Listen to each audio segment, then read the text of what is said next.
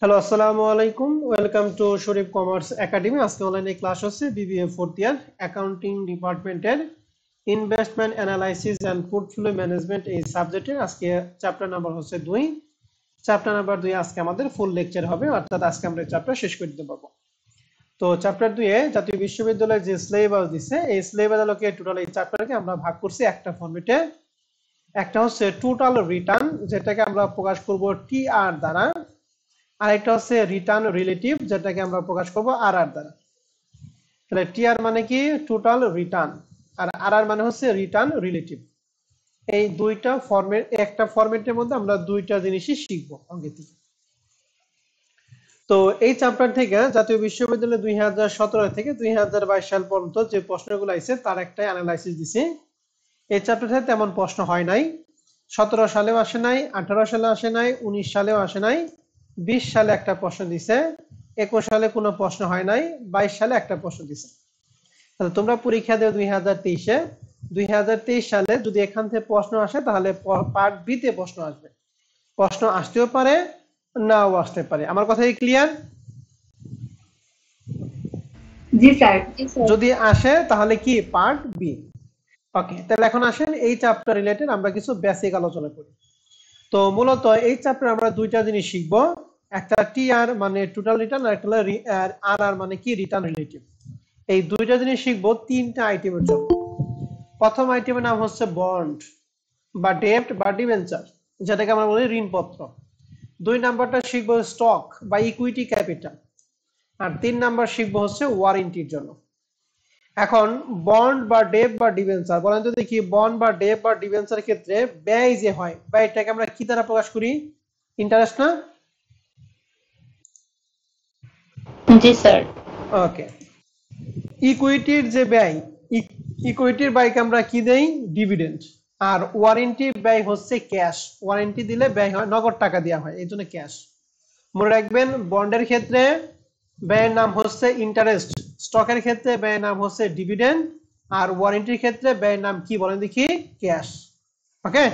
ক্যাশের প্রথম অক্ষর সি এই তিনটা শুধু মনে রাখবেন, আর বাদ বাকি সবার ক্ষেত্রে সেম তাহলে এখন রিটার্ন টোটাল রিটার্নের সূত্র হচ্ছে আই প্লাস বন্ডের ক্ষেত্রে কিন্তু I plus P one minus P zero divided by P zero into hundred গত ক্লাসে লাস্ট আমরা পি জিরো এবং পি ওয়ান বুঝলাম। বলো তো দেখি পি জিরো মানে কি? ক্রয় মূল্য না বিক্রয় মূল্য?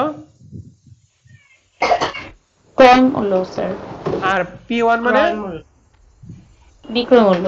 তাহলে এই পি জিরো পি ওয়ান এগুলা সবার জন্য দেখেন সেম বন্ডের জন্য তাই স্টকের জন্য তাই ওয়ারেন্টির জন্য তাই শুধু পরিবর্তন কি? প্রথমটা ব্যয়ের নাম।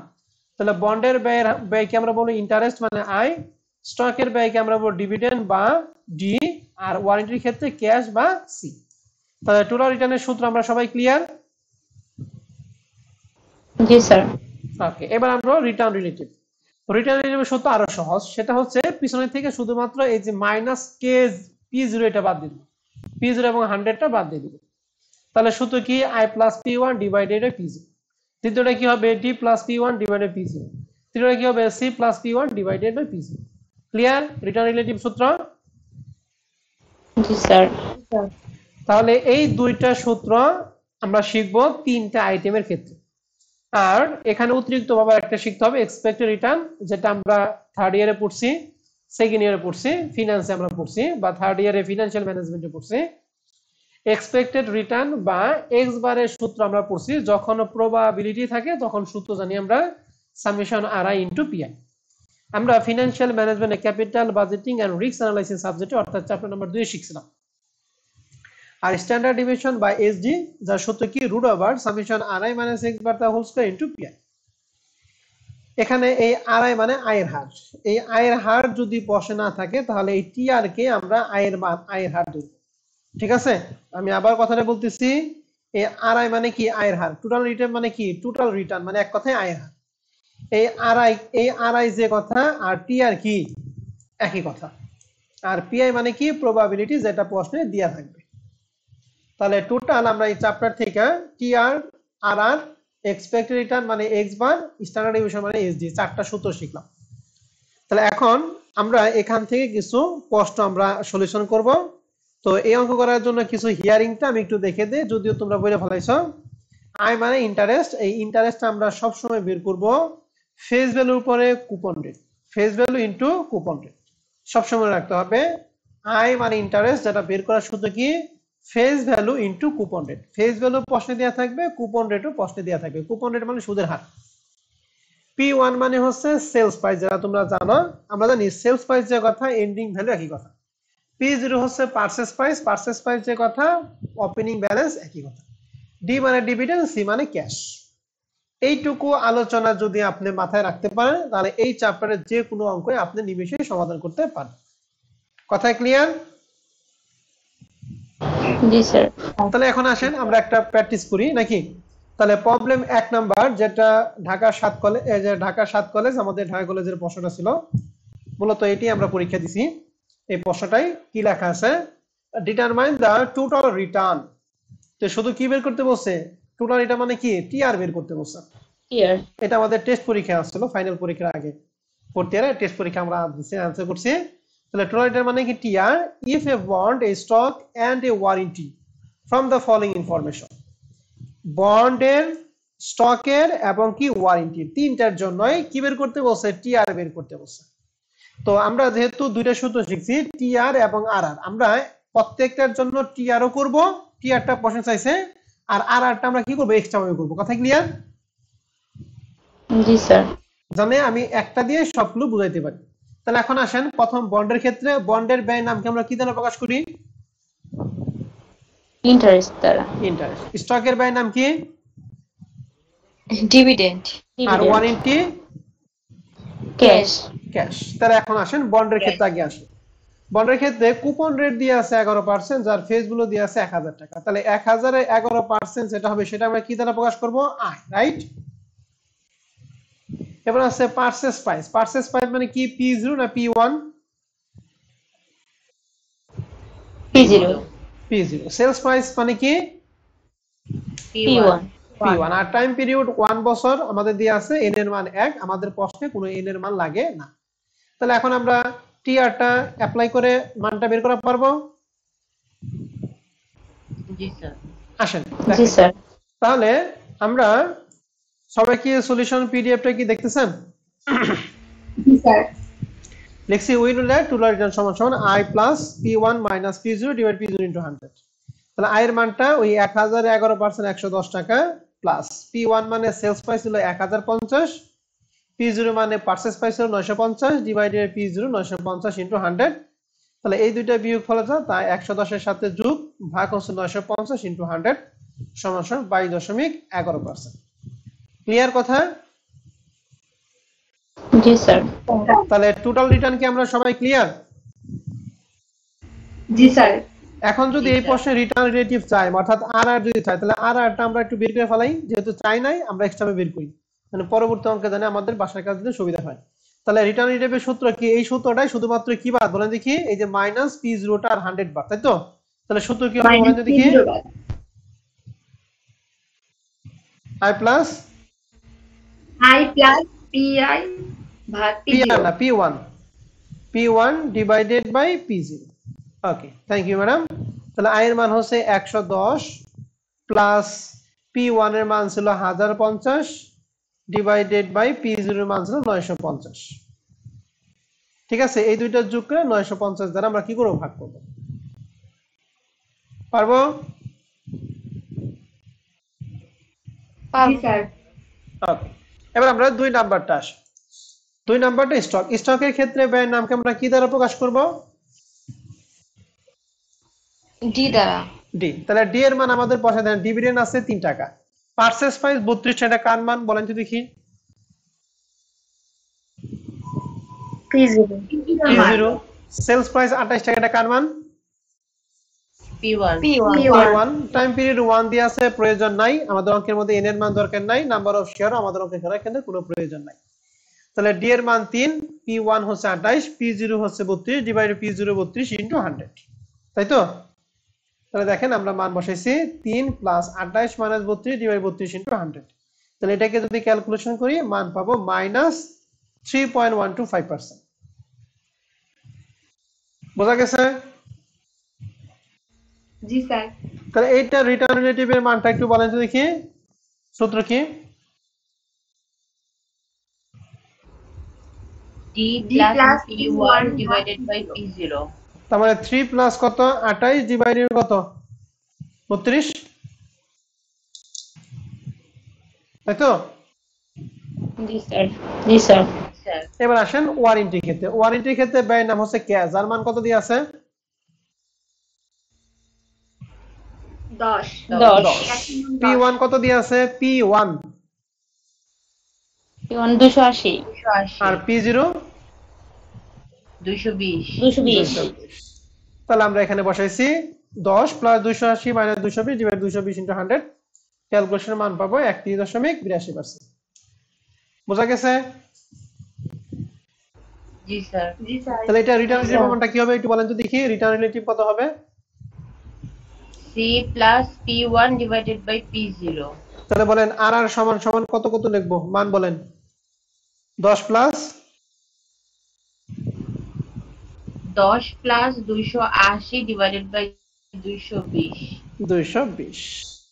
আশা করি টোটাল রিটার্নও আমরা বুঝতে পারছি রিটার্ন রিলেটিভও আমরা বুঝতে পারছি। ঠিক আছে? জি স্যার। ওকে জি স্যার। এখন আসেন তাহলে এক্সারসাইজ এক আমাদের ক্লিয়ার সরি প্রবলেম এক ক্লিয়ার এখন আমরা প্রবলেম দুই আসি। এটা ইডেন কলেজের আমাদের পার্শ্ববর্তী কলেজ কি লেখা আছে? Calculate the total return and return relative তাহলে এখানে কয়টা বের করতে বলছে? দুইটা। দুইটাই বের করতে বলছে। গুড এখন আসেন এক নাম্বার আসেন। A preferred stock both for টাকা সত্তর টাকা পার শেয়ার বলছে প্রিফারেন্স স্টক ক্রয় করছে সত্তর টাকা। এক একটা শেয়ার দাম হচ্ছে সত্তর টাকা। Held one year during which পাঁচ টাকা পার শেয়ার ডিভিডেন্ড আর কালেক্টেড সোল্ড তেইষট্টি টাকা। তাহলে বলেন তো দেখি এখানে এই সূত্র এটা কার মান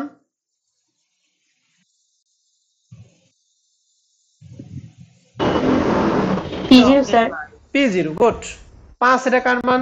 পি জিরো ডি এর মান। ডি এর। মান। আর তেষট্টি? P1. হচ্ছে ডি ওয়ান পি ওয়ান তেষট্টি হচ্ছে পি ওয়ান তাহলে এখান থেকে কি টোটাল রিটার্ন এবং রিটার্ন রিলেটিভ বের করা পারবেন? জি স্যার পারব। ইনশাআল্লাহ। ওকে। এবার আসি দুই নাম্বারটা।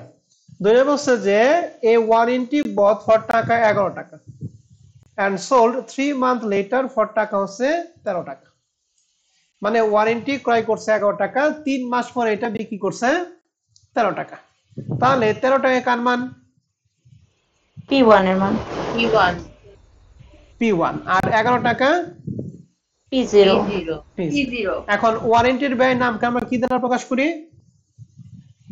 ক্যাশ ক্যাশ কিন্তু ক্যাশ কি আমাদের প্রশ্নে উল্লেখ আছে? জি না না থাকলে কি জিরো কথা ক্লিয়ার জি স্যার জি স্যার ওকে তাহলে টুলার রিটার্নের সূত্র আমরা ক্যাশের পরিবর্তে শুধু জিরো দিব। তাহলে আমরা একটু দেখাই। শুধু দ্বিতীয়টা দেখাবো হ্যাঁ? এই যে জিরো প্লাস এগারো মাইনাস সরি জিরো প্লাস তেরো মাইনাস এগারো ডিভাইড এগারো ইন্টু হান্ড্রেড আঠারো দশমিক আঠারো পার্সেন্ট বোঝা গেছে? জি স্যার। আর রিটার্ন রিলেটিভ জিরো প্লাস তেরো ডিভাইডেড বাই এগারো। ক্যালকুলেশন করে মান পাবো এটা ক্লিয়ার? জি স্যার। Okay. এবার আসেন তিন নাম্বারটা। প্রশ্ন হচ্ছে এ বারো পার্সেন্ট বন্ড বধ ফর আটশো সত্তর। তাহলে এই আটশো সত্তর এটা কার মান? বলেন তো দেখি। P zero P zero good held two year during which interest is collected and sold for টাকা নয়শো ত্রিশ। নয়শো ত্রিশ কার মান?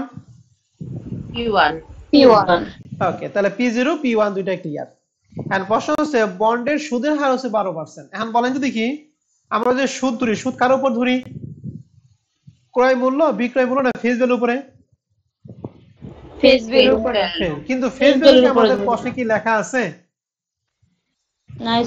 লেখা নাই। এখন একটা জিনিসের ক্রয় মূল্য আটশো সত্তর যা বিক্রয় মূল্য নয়শো কত ত্রিশ। ফেস ভ্যালুটা আমাদের নাই। তাহলে ফেস ভ্যালুটা আমরা ধরে নিব তাহলে আমরা নিচে একটু লিখেছি helpline let face value of face value of bond সমান সমান কত টাকা? এক হাজার টাকা।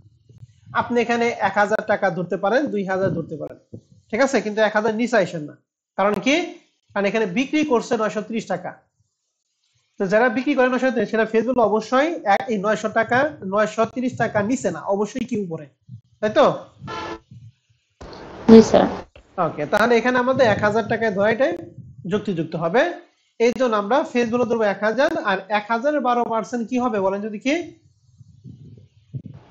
আয়ের মান আয়ের মান পি জিরো দিয়ে আছে পি ওয়ান দিয়ে আছে। টোটাল রিটার্ন এবং রিটার্ন রিলেটিভ কি বের করতে সমস্যা হবে? না স্যার পারব এটা না Okay, স্যার এখন এখানে প্রশ্ন হচ্ছে যদি এখানে আটশো সত্তরের পরিবর্তে থাকতো আট হাজার সাতশো আর নয়শো তিরিশের পরিবর্তে নয় হাজার তিনশো টাকা তাহলে ফেস ভ্যালু কত ধরতেন? দশ হাজার। দশ হাজার। হ্যাঁ। আপনাকে কিন্তু ব্যালেন্স করতে হবে।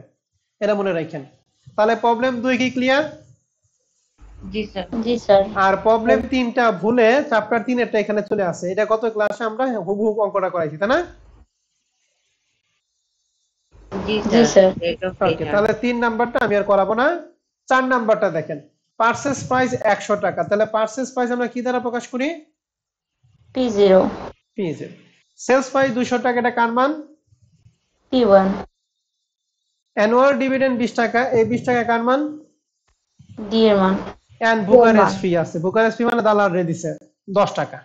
And এই যে দালাল যে টাকা আছে এই টাকা কার সাথে অন্তর্ভুক্ত? এর কোনো কিছু নাই। না লেখা থাকলে আমরা কার উপর কার সাথে কাজ করব? বুঝলাম গত সেলস থেকে মাইনাস করব। সেলস থেকে মাইনাস গুড পার্সেস প্রাইসের সাথে কোনো কাজ করা যাবে না কারণ এটা হলো সমন্বয় সমন্বয়গুলি বছর শেষেই হয়। এন্ড প্রশ্ন হচ্ছে calculate the return on investment return on investment return on investment total return বের করতে বলছে এন্ড টোটাল রিটার্ন কি পারবে এখন আমরা? জি স্যার। তার চার নাম্বার কি করতে হবে নাকি পারবেন? করতে হবে না পারব। ওকে পাঁচ নাম্বারটাও সেম সিমিলার প্রশ্ন। এই যে লেখা আছে স্টক ইজ সেলিং টুডে এটা একটু ভালো করে খেয়াল করেন। Stock is selling today for টাকা চল্লিশ টাকা পার শেয়ার তাহলে আজকে বিক্রয় মূল্য চল্লিশ টাকা at the end of the year it pay a dividend দুই টাকা per share and sales for টাকা চুয়াল্লিশ। পাশাপাশি আজকে সিকিউরিটি বিক্রয় মূল্য হচ্ছে চল্লিশ টাকা যেটা এক বছর পরে ডিভিডেন্ড হচ্ছে দুই টাকা যার বিক্রয় মূল্য চুয়াল্লিশ টাকা। তাহলে আজকে যেটা বিক্রয় সেটা যদি এক বছর পরে বিক্রি করে তাহলে আজকের বিক্রয়টা কি মূল্য? কয় মূল্য স্যার। ক্রয় মূল্য গুড তাহলে আজকের বিক্রয়টা হলো ক্রয় মূল্য আর এক বছর পরে যেটা সেটা হলো কি বিক্রয় মূল্য? তাহলে এই অঙ্কে বলতো পি ওয়ান পি জিরো কত কত? পি ওয়ান পি জিরো চল্লিশ টাকা আর পি ওয়ান হচ্ছে চুয়াল্লিশ টাকা। আর ডি এর মান দুই টাকা। এখন কি পারবেন? আচ্ছা, ঠিক আছে তাহলে পাঁচ নাম্বারটা ক্লিয়ার আমি ছয় সাত আট একটু পরে দেখাই কারণ এই রিলেটেড প্রশ্নগুলো আগে শেষ করে আসি। নয় নম্বর প্রশ্নটা। নয় নাম্বারটা না আহ, আগে এগারো নম্বর প্রশ্নটা দেখেন। এগারো নম্বরটা দুই হাজার বাইশ সালে ছিল এখানে দুইটা stock A B beginning price মানে কি পি ওয়ান না P zero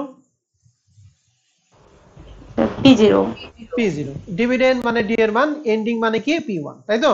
P1 and প্রশ্ন হচ্ছে compute the total return as well as return relative আর আর বের করতে বলছে অফ টু স্টক তাহলে এর জন্য একবার টোটাল রিটার্ন রিটার্ন রিলেটিভ আবার বি এর জন্য একবার টোটাল রিটার্ন রিটার্ন রিলেটিভ পারবেন? তাহলে এগারো নাম্বার অঙ্কটা আমাদের ক্লিয়ার ওকে এটি আমাদের সর্বশেষ অঙ্ক ছিল দুই হাজার বাইশের। এখন আসেন আমরা সাত নম্বর অঙ্ক দিয়ে শুরু করি হ্যাঁ? সাত নম্বর অঙ্কটা, এটা পার্ট সি এর একটা অঙ্ক হ্যাঁ? বাংলা কলেজের প্রশ্ন এখানে কি লেখা আছে একটু ভালো করে আমরা সবাই একটু খেয়াল করি। প্রশ্নে বলছে স্টক কস্টিং আর এস দুইশো পঞ্চাশ pay no dividend stock costing costing মানে ক্রয় মূল্য ছিল দুইশো পঞ্চাশ টাকা, এরপর কোনো ডিভিডেন্ড নাই। The possible price that the stock might sales for at the end of the year and probability of is year বসে বসে যে সেলসটা বছর শেষে দেয়া আছে এবং সাথে প্রবাবিলিটি দেয়া আছে। তাহলে প্রবাবল রিটার্ন কথাটা মানে হচ্ছে সেলস তাহলে সেলস আমাদের দেয়া আছে টোটাল দুই, চার, পাঁচটা। তাহলে প্রথমবার দুশো টাকা, দ্বিতীয়বার দুশো তিরিশ টাকা, তৃতীয়বার দুশো পঞ্চাশ, এরপরে হচ্ছে দুশো আশি, তারপরে কত? তিনশো দশ। তাহলে সেলস এর মান টোটাল কয়টা দিয়ে আছে? পাঁচটা। পাঁচটা পাঁচটা। আর প্রবাবিলিটি আমাদের প্রশ্নে দিয়ে আছে কয়টা? পাঁচটাই দিয়ে আছে। এখন প্রশ্ন হচ্ছে এই যে ক্রয় মূল্য দিয়ে আছে দুইশো পঞ্চাশ তাহলে ক্রয় মূল্য দিয়ে আছে কয়টা? একটাই। পাঁচটা বিক্রয় ক্ষেত্রে ক্রয় মূল্য সেম হবে। দুইশো টাকার ক্ষেত্রে ক্রয় মূল্য দুইশো পঞ্চাশ টাকা দুইশো তিরিশ টাকার ক্ষেত্রে ক্রয় মূল্য দুইশো টাকা দুইশো পঞ্চাশ টাকা দুশো পঞ্চাশ টাকার ক্ষেত্রে ক্রয় মূল্য দুশো পঞ্চাশ টাকা দুশো আশি টাকার ক্ষেত্রে একই তিনশো দশ টাকার ক্ষেত্রে কি? সেম কথা বুঝতে পারছেন? জি স্যার। তার মানে আমাদের এই সবগুলোর জন্য পি জিরো কত? আর এই নিচে যেগুলো আছে সেগুলো সব কি পি ওয়ান? এক একটার জন্য একটা একটা। কষ্টে বেরোছে what is the expected return expected মানে কি এক্স বার এক্স বারের সূত্র কি একটু বলেন তো দেখি। Summation summation r i pi into pi good summation R I into pi good এই পিআই মানে প্রবাবিলিটি যেটা আমাদের প্রশ্নের মানটা দিয়ে আছে রাইট এন্ড আর আই মানে কি? আর আই হচ্ছে টোটাল রিটার্ন আর আই মানে কি? Total return and total return তো আমাদের নাই তো টোটাল রিটার্ন প্রথমে আগে বের করব। যেটা বের করব এটাই হচ্ছে আমাদের কার মান? আড়াই r আর আই মান। এখন টোটাল রিটার্ন যে বের করব আমরা কি বন্ডের ক্ষেত্রে বের করব না স্টকের ক্ষেত্রে বের করব নাকি ওয়ারেন্টির ক্ষেত্রে বের করব? বলেন তো দেখি। স্টকের ক্ষেত্রে? স্টকের ক্ষেত্রে গুড আর স্টকের ক্ষেত্রে টোটাল রিটার্ন বের করার সূত্র একটু বলেন।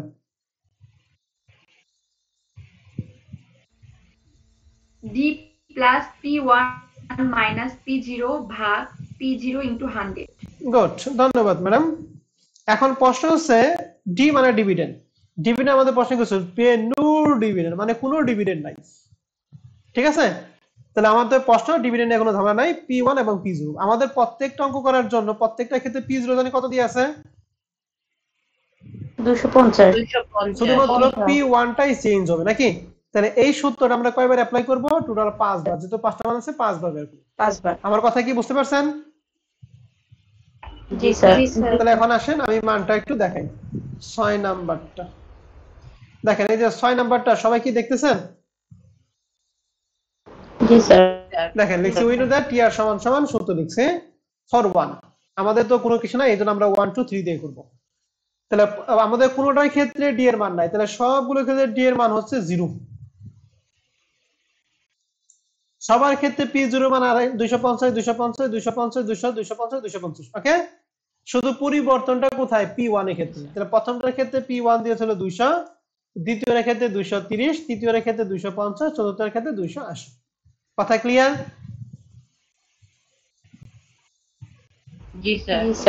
এখন ক্যালকুলেশন করে এটা হবে মাইনাস বিশ পার্সেন্ট এটা হবে মাইনাস আট পার্সেন্ট এটা হবে জিরো পার্সেন্ট এটা হবে বারো পার্সেন্ট ও পাঁচ নাম্বারটা দেখাই নাই। পাঁচ নাম্বার ক্ষেত্রে ডি এর মান আছে ওই যে পি পি জিরোর মান হচ্ছে আড়াইশো আর সর্বশেষ পি ওয়ানের মান ছিল তিনশো বিশ। এটা ক্যালকুলেশন করে মান হবে চব্বিশ পার্সেন্ট তাহলে এই পার্সেন্ট কি বের করতে পারবেন আপনারা? জি স্যার। তাহলে এটা বের করাটা বড় কথা না। কেউ কিছু বললেন? হ্যালো কেউ কি কোনো প্রশ্ন করছেন? না স্যার। ওকে এইটা বের করাটা বড় কথা না। বড় কথা হচ্ছে এই অঙ্কে যে আমাদের ডিভিডেন্ড মান নাই এইটা ধরা পি ওয়ান কোনটা এবং পি জিরো কোনটা? এই তিনটা যদি ধরতে পারেন তাহলে অঙ্ক শেষ। আর তিনটা কি ধরা পারছেন আপনারা সবাই? জি স্যার। স্পষ্ট ভাবে লেখা আছে সবকিছু। তাহলে আমাদের এই টোটাল রিটার্ন কথা মানে হচ্ছে আর এটা বের করা শেষ। এখন কি এক্স বার বের করতে আর শনিবার, মঙ্গলবার লাগবে? লাগবে। পিআই তো আমাদের দিয়ে আছে আর আই তো আমরা বের করলাম। তাহলে এখন আর আই সূত্র আমরা লিখছি summation R I into pi তাহলে আর আই মানে কি? টোটাল রিটার্ন তাহলে প্রথমটার ক্ষেত্রে আমরা বের করছিলাম মাইনাস বিশ, তারপরে কত? আট মাইনাস আট, তারপরে জিরো তারপরে বারো, তারপর কত? চব্বিশ। তাহলে আমরা লিখছি আর আই মাইনাস পিআই তাহলে গেলে প্রত্যেকটাকে আমরা শতকরে প্রকাশ করে দিব হ্যাঁ? মানে একশো দ্বারা ভাগ করে দিব।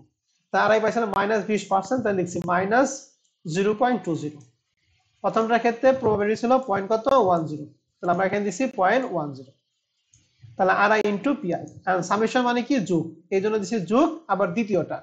দ্বিতীয়টার ক্ষেত্রে মাইছিলাম এখানে মাইনাস কত? আট পার্সেন্ট তাহলে এখানে দিচ্ছি মাইনাস আট পার্সেন্ট মানে জিরো পয়েন্ট কত? জিরো এইট আর দ্বিতীয়টার ক্ষেত্রে প্রবাবিলিটি ছিল পয়েন্ট টু ফাইভ এই জন্য এখানে দিচ্ছি পয়েন্ট টু ফাইভ আবার প্লাস এবার তৃতীয়টার মান তারপরে চতুর্থটার মান এরপরে পঞ্চমটার মান। বোঝা গেছে? জি স্যার। তাই সবাই কি মানগুলি কি বুঝতে পারছেন কিনা বলেন? নাকি আবার বলতে হবে? জি স্যার বুঝতে পারছি। ওকে এখন এই সবগুলো ক্যালকুলেশন করবেন। ক্যালকুলেশন করে এগুলো যেহেতু প্রত্যেকটা আমরা একশো দ্বারা ভাগ করেছি ঠিক না? ক্যালকুলেশন করে যে মান হবে তাকে আমরা একশো দ্বারা কি করব? গুণ করব। ঠিক আছে? শেষে আবার কি করব? একশো দ্বারা গুণ করলে হবে zero point eight zero percent. আমার মনে করেন না এটা মানে একশো দ্বারা গুণ একশো দ্বারা গুণ করেন না। এটা একশো দ্বারা গুণ করেই কিন্তু হয়েছে zero point eight zero percent. Okay? ম্যাডামরা? জি স্যার। ওকে এখন আমাদের রিকোয়ারমেন্ট দিয়ে বলছে calculation of standard division of the return standard division মানে কি? এসডি তাহলে এসডি সূত্র আমরা জানি summation root over summation RI minus X bar তার হোল স্কয়ার ইনটু পিআই তাহলে এই মানটাকে আমরা সামেশন করব, কয়বার সামেশন করব? পাঁচবার, যেহেতু আমরা পাঁচটা মান দিয়ে আছে। প্রথমে আরআই প্রথমটার ক্ষেত্রে আমরা আরআই পাইছিলাম। কত পার্সেন্ট পাইছি বলেন তো দেখি? ওই যে পাঁচটা যে ওয়ার্কিং করলাম প্রথমটা ক্ষেত্রে মানে মাইনাস বিশ। নাকি? এই জন্য এখানে লিখছি মাইনাস বিশ। মাইনাস এই minus X bar X bar পাইছি হলো জিরো পয়েন্ট এইট পার্সেন্ট লিখছি জিরো পয়েন্ট এইট জিরো তার হোল স্কোয়ার ইন্টু পিআই প্রথমটার জন্য পিআই ছিল পয়েন্ট ওয়ান জিরো তাহলে এই যে প্রথম টুকুর যে মানটা এই মানটুকু আমরা বুঝতে পারছি কিনা বলেন। এবার দ্বিতীয়টার ক্ষেত্রে আমাদের আড়াই মান পাইছি মাইনাস আট।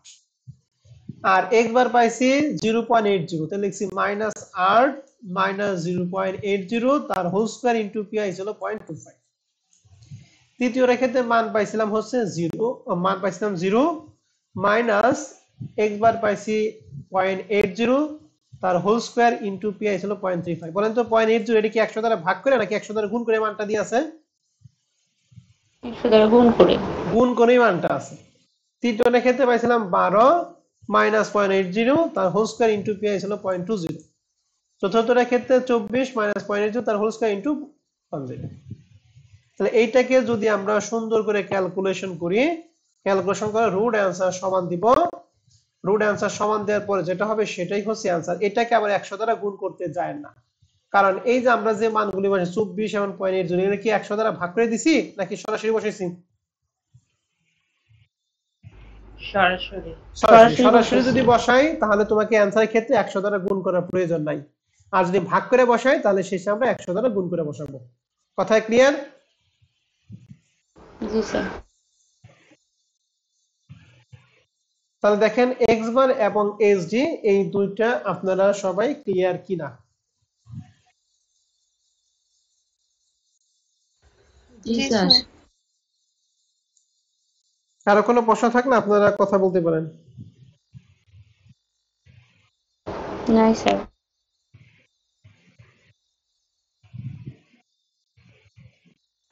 নাই নাই স্যার ওকে তাহলে আমি যদি এখন এক্স বার এবং এস বের করতে বলি আপনারা কি পারবেন এক্স বার এবং এস জি স্যার পারব। ওকে দেখি তাহলে নাম্বারটা শেষ এবং সাত এবং একই অঙ্ক। সাত নাম্বার অঙ্কটা এই যে গভর্নমেন্ট এসএস এসএস মানে কি? ওই যে সরোয়ার্দি করে শহীদ সরোয়ার্দি কলেজ হ্যাঁ এটা কিন্তু ঢাকা সাত কলেজের আন্ডারে এখন বলেন যদি কি অঙ্কে আমাদের এই যে কস্টিং প্রাইজে ছিল একশো বিশ টাকা এটা কার মান পি জিরো পেয়েছি আর নিচে আমাদের যেগুলো সব হলো সেলস এর মান দুই চার ছয়টা দিয়ে আছে প্রবাবিলিটি দিয়ে আছে। একই প্রশ্ন এক্সপেক্টেড রিটার্ন এবং standard division same as problem six তাই তো? জি স্যার আর আট নাম্বার প্রশ্নটা এটাও সেম প্রশ্ন পি ওয়ানের মান হচ্ছে দেড়শো। নো ডিভিডেন্ড কোনো ডিভিডেন্ড না আগে কোনো ডিভিডেন্ড ছিল না। পি ওয়ানের মান আমাদের নিচে দিয়ে আছে পি প্রবাবিলিটি মান দিয়ে আছে এক্সপেক্টেড এবং স্ট্যান্ডার্ড ডিভিশন বের করতে বলছে। সেম প্রশ্ন এটা দুই হাজার তেরো সালে ফিনান্স এন্ড ব্যাংকিং ডিপার্টমেন্টে থার্ড ইয়ার আইছে ঠিক আছে? তাহলে যেহেতু সাত এবং আট তো পারা উচিত নাকি? জি স্যার। পারব ইনশাল্লাহ ইনশাআল্লাহ পারব। ওকে এখন যদি পারেন তাহলে এবার আসেন আমি আপনাকে বলি নয় নাম্বার অঙ্কটা দুই হাজার চোদ্দ সালে সেকেন্ড ইয়ার অ্যাকাউন্টিং প্রবাবিলিটি আছে প্রবাবিলিটি মানে কার মান? PI PI beginning beginning price মানে কার মান? এন্ডিং প্রাইস মানে কার মান? আর ডি ওয়ান ডিভিডেন্ড মানে কি? ডি এর মান। তাহলে এটা হলো প্রথমটা আপনারা বললেন পি জিরোর মান। তারপরটা হচ্ছে পি ওয়ান এরপরটা কি? ডি এর মান। তাহলে এই তিনটার আলোকে আমরা প্রথমে বের করতে বলছি কি? ক্যালকুলেট দ্য রিটার্ন অ্যান্ড রিক্স রিক্স মানে হচ্ছে এসডি রিক্স মানে কি বলেন তো দেখি।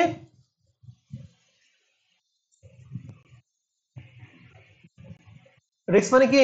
এসডি এসডি মানে কি? স্ট্যান্ডার্ড ডিভিশন আর রিটার্ন মানে কি? এক্স বার তাহলে এক্স বার এবং এসডি বের করতে বলছে যেটা কিনা আমাদের এই সেম প্রশ্ন। এন্ড এটা করার জন্য আমাদের লাগবে হচ্ছে আরআই এবং কি? পিআই তাহলে পিআই তো আমাদের প্রশ্নে দিয়ে আছে কিন্তু আরআই কি আমাদের প্রশ্নে দিয়ে আছে? নাই। তাহলে আড়াইটা আড়াই মানে কার মান? বলেন যে দেখি। টোটাল রিটার্ন টোটাল রিটার্ন তাহলে এই যে আমাদের পি জিরো দিয়ে আছে পি ওয়ান দিয়ে আছে ডি দিয়ে আছে এটার উপর ভিত্তি করে আপনি কি এই চারবার টোটাল রিটার্ন কি বের করা পারবেন? জি স্যার। টোটাল রিটার্ন বের করার পর এরপর আপনি সুন্দর করে এক্স বারের সূত্র অ্যাপ্লাই করবেন মান বেরোবে সাতাশ দশমিক পাঁচচল্লিশ তারপরে রিক্স মানে এসডি এসডি সূত্র অ্যাপ্লাই করে মান হবে চব্বিশ দশমিক উনিশ পার্সেন্ট। বোঝা গেছে? জি স্যার। স্যার। তাহলে এটা হচ্ছে সেকেন্ডের অঙ্ক। এখন আসলে আপনার ফুর্তের অঙ্ক। দশ নম্বর অঙ্কটা দুই হাজার বিশ সালে ফুর্তের accounting IPM investment analysis and portfolio management এটা হলো আমাদের এই চ্যাপ্টার সর্বশেষ অঙ্ক। প্রশ্ন বলছে from the following information you are required to calculate the expected rate of return that means কার মান? X bar X bar and standard division মানে কি? এসডি এসডি দেখেন সুন্দর করে প্রবাবিলিটি দিয়ে আছে রিটার্ন মানে আড়াই মানটা সুন্দর করে দিয়ে আছে। তার মানে এই ক্ষেত্রে আর এই সূত্র টোটাল রিটার্নের সূত্র অ্যাপ্লাই করে আড়াই বের করার কোনো প্রয়োজন নেই। সরাসরি আড়াই দিয়ে আছে সরাসরি কি? প্রবাবিলিটি দিয়ে আছে। জাস্ট সূত্র অ্যাপ্লাই করে মানটা বসাবো। বুঝছেন? আপনাদের ক্ষেত্রে আর একটু সহজ করে দিছে। বিশ সালে বছর সহজ করে দিছে। যেমন এর আগে বের আমরা করে বুঝি নাই? স্যার আড়াইয়ের মানটা বের করে দিছে।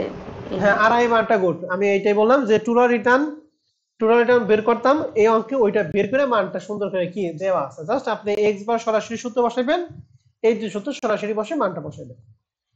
পারবেন? জি স্যার ওকে তাহলে এইটাই ছিল আমাদের এই চ্যাপ্টারের সর্বশেষ অঙ্ক। এখন এই চ্যাপ্টারের ক্ষেত্রে পার্ট এর জন্য আমরা যে এগারোটা প্রশ্ন আর পার্ট বি এবং সি এর জন্য পাঁচটা। এর মধ্যে পাঁচ নম্বর প্রশ্ন পড়ার দরকার নাই আপনার এক থেকে চার পর্যন্ত ঠিক আছে? এই হচ্ছে আমাদের চ্যাপ্টার দুয়ের ক্লাস তাহলে আজকের ক্লাস আমাদের এই পর্যন্ত থাকবে। এই চাপের উপর যদি তোমাদের কোনো প্রশ্ন থাকে, তোমরা অবশ্যই তোমাদের প্রশ্ন করার সুযোগ আছে।